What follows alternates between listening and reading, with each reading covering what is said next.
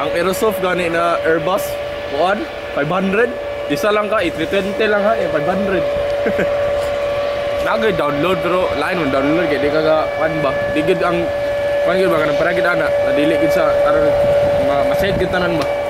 Kau buat flight plan. Kau gid set tanan.